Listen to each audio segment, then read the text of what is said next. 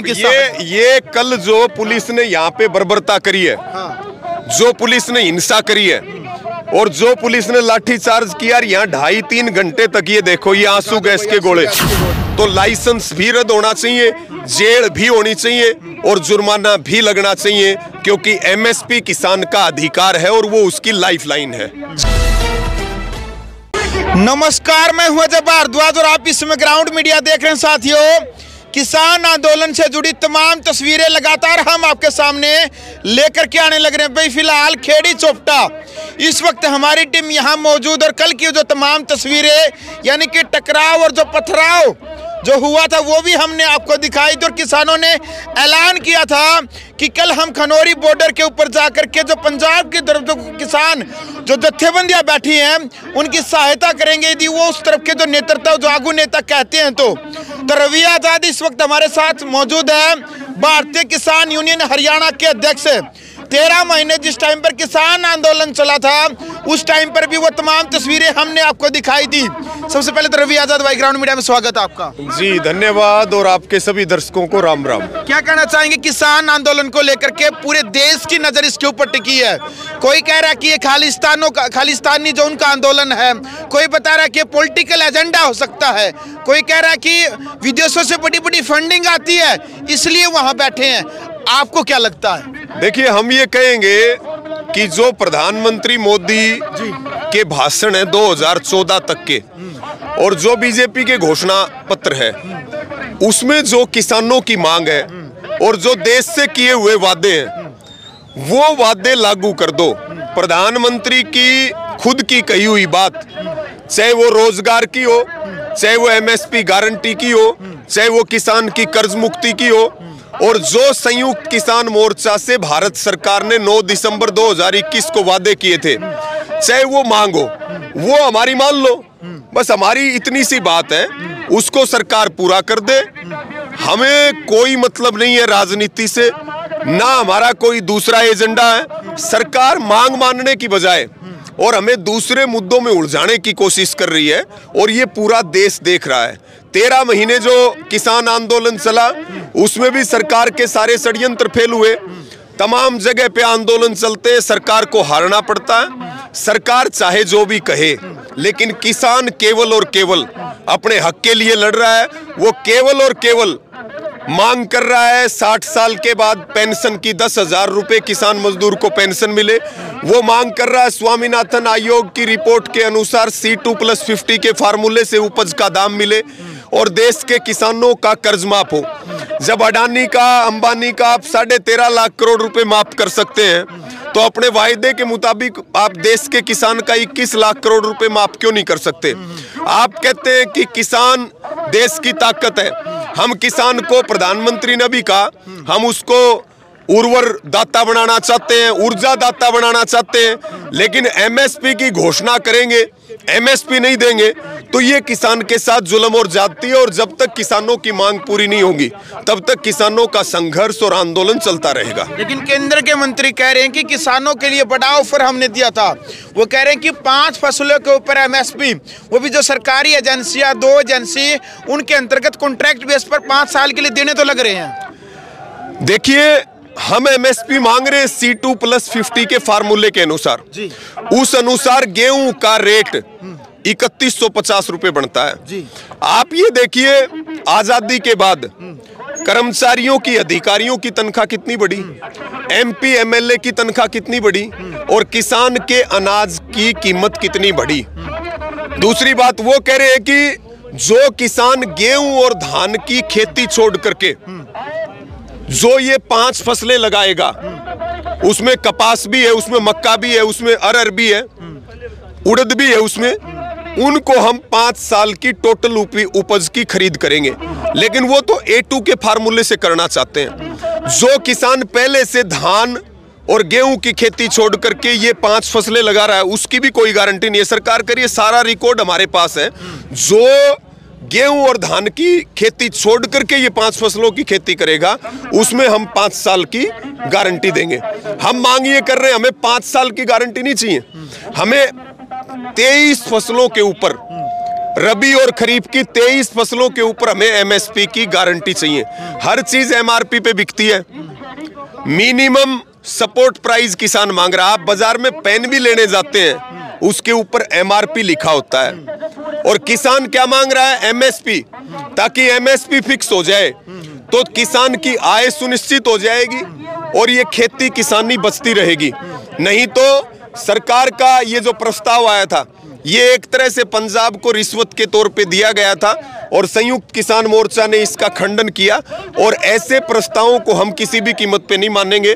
हमें चाहिए एमएसपी का गारंटी कानून। किसान की उपज अगर एमएसपी से कम बिके तो लाइसेंस भी रद्द होना चाहिए, जेल भी होनी चाहिए और जुर्माना भी लगना चाहिए, क्योंकि एमएसपी किसान का अधिकार है और वो उसकी लाइफलाइन है। जी। अच्छा दिल्ली कूच की बात लगातार किसानों के द्वारा कही जा रही है। उसी तरफ़ से हरियाणा के मुख्यमंत्री मनोहर लाल खट्टर का भी ये बयान सामने आने लग रहा है कि भाई यदि किसानों ने प्रोटेस्ट करना यदि दिल्ली कूच करना दिल्ली जाना है यदि धरना देना है तो आप अपनी गाड़ियों में बैठ करके या फिर रेल में बैठ करके बस में बैठ करके जा सकते हैं ट्रैक्टर ट्रैलियों में हथियार लेकर के क्या करेंगे? क्यों जाएँगे और नहीं जाने देंगे? पहली बात तो हम कोई हथियार नहीं रखते। जी। हम तो एक डंडा ज़रूर रखते हैं। और वो भी झंडा लगाने के लिए। हम कौन से हथियार रखते हैं? अच्छा दूसरी बात, सरकार जिम्मेवारी ले ले। सरकार जिम्मेवारी ले ले कि भाई ये हज़ारों लाखों जो किसान आएँगे, इनकी सोन की, इनकी खाना खान की, इनके लंगर पानी की, इनके इनके इनके इनके इनके लंगर पानी की। या तो प्रधानमंत्री ये कह दे कि भाई किसान दिल्ली में आया है और भाई किसान की सेवा हम बटेऊ की ढाल करेंगे तो कोई दिक्कत नहीं, हम बिना ट्राली भी चले जाएँगे ठीक है? और ये ट्राली तो सोने के लिए है इसी में हमारा लंगर का सामान है। और ये भाई सफारी कितने ले हम किसान कन तो ट्रैक्टर ट्राली पाओगा। तो जब बीजेपी बीजेपी जो है बीजेपी वाले अगर हमने बटेऊ मानते और बटेुआ की ढाल सेवा कर दे हो तो हम बिना जो है ट्रैक्टर ट्राली का भी चले जाओगे कर लेंगे भरोसा। जी। अच्छा खनौरी बॉर्डर की बात करें या फिर शंभू बॉर्डर की बात करें?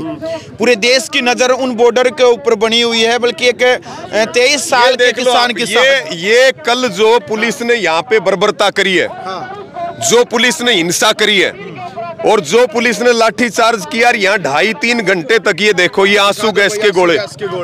आज यो लाग जाए किसी का शरीर पे, किसी का आँख पे, किसी का माथे पे तो आप समझ सकते हो क्या हालत होगी। ये एक घर में, ये उधर जो है ना एक मकान है, ये उनके घर पे पुलिस ने जो है ये आँसू गैस का गोला छोड़। दिया यो कितने बोर का ये, बारह। ये आप देख लो, ये ये हरकत है। यानी कि हरियाणा का मुख्यमंत्री मुख्यमंत्री बन के काम नहीं कर रहा।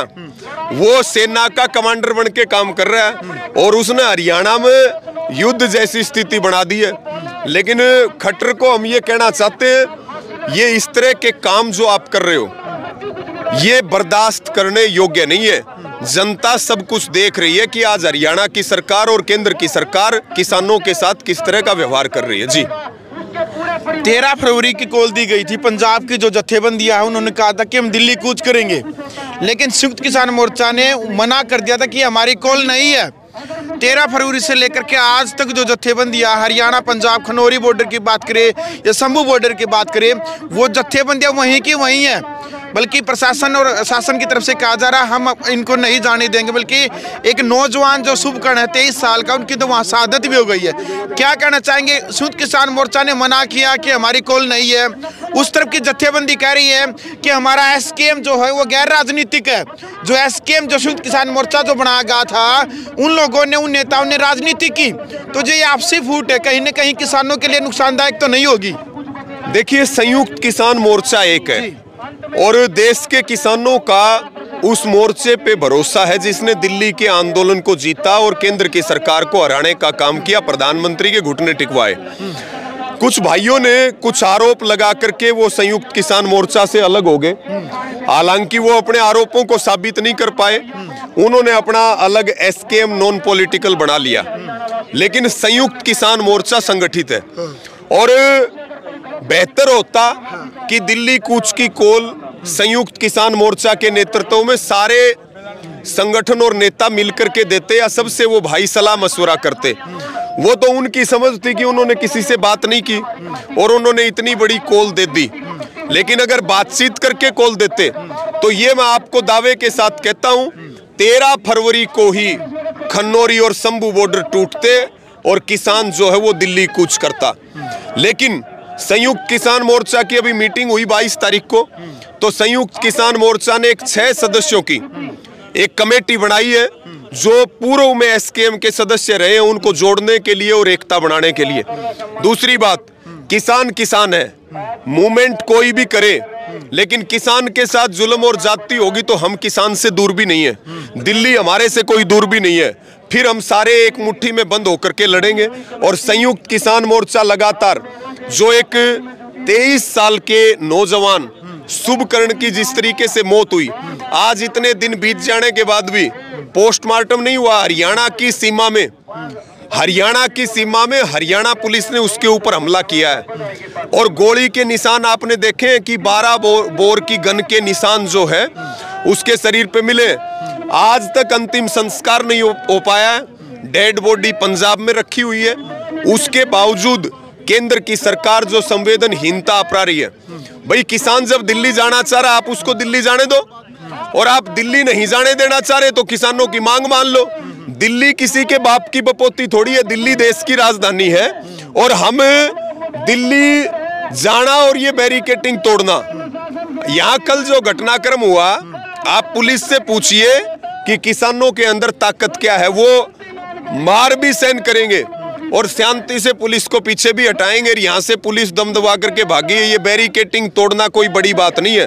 और दिल्ली कोई देश के किसानों से दूर नहीं है। ये जुल्म और ज्यादती ये दिखाती है कि आज मुख्यमंत्री खट्टर जनरल डायर बन करके काम कर रहे हैं और वो दिन दूर नहीं है जब उनकी ताबूत में किसान किल ठोकने का काम करेगा। बिल्कुल। कल की कॉल दी गई थी यहाँ से। कि हम खनौरी बॉर्डर के ऊपर जाएँगे।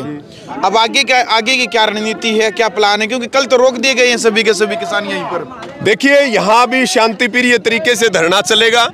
सत्रह जो किसान गिरफ़्तार किए थे, वो किसानों की ताकत थी। जिला प्रशासन ने घुटने टेके, सत्रह किसानों को रिहा किया। अभी यहाँ शांति प्रिय तरीके से आंदोलन चलता रहेगा। यहाँ की जो कमेटी है, वो आगे का निर्णय लेती रहेगी। और संयुक्त किसान मोर्चा ने 14 मार्च को दिल्ली चलो का आह्वान रामलीला मैदान में किया है। उसकी तैयारियाँ भी सब ज़ोर शोर तरीके से करेंगे और ये आपको वादा है दिल्ली देश की राजधानी है। दिल्ली देश का दिल है और किसान इस देश की आत्मा है। हम दिल्ली ज़रूर जाएँगे किसी के बाप में हिम्मत नहीं है हमें दिल्ली जाने से कोई रोक दे। रोक दे। जी। चलिए। चलो भाई, फ़िलहाल वीडियो आपने देख लिए युवा किसान नेता रवि आज़ाद इस वक्त हमारे साथ मौजूद थे।